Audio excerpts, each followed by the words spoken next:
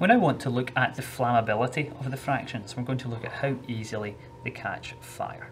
Okay, so if I start off with the hexane, I'm going to put a few drops of hexane on this white tile here. And then I'm going to see if we can light that.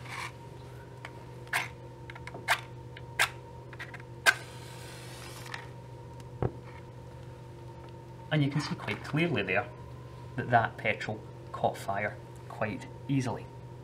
Okay, so I'm going to wait for that to go out and then we're going to try the same with the kerosene.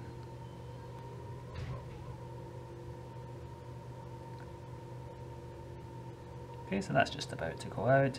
There we go, all the petrol has been used up. So we'll put some kerosene on the white tile and we shall do the same again.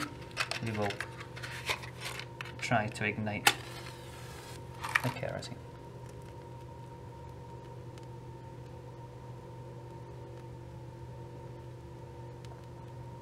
And you can see that I cannot get this kerosene to light. Okay? So let's try the gas oil. Put some of gas oil on the white tile. And then we'll do the exact same. Take a match to the gas oil and see if we can get it to light.